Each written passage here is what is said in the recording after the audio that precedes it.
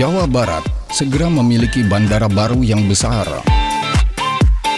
Bandara Internasional Jawa Barat yang terletak di Kertajati, Majalengka ini mengadopsi arsitektur dan ciri khas Pasundan dan direncanakan beroperasi pada Juni 2018.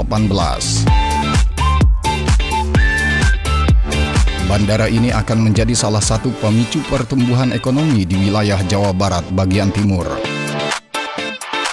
Bandara yang dibangun di atas lahan 1.800 hektar ini memiliki landasan pacu sepanjang 3.500 meter dengan lebar 60 meter, sehingga layak menjadi landasan pesawat berbadan lebar seperti Boeing 777 dan Airbus 350.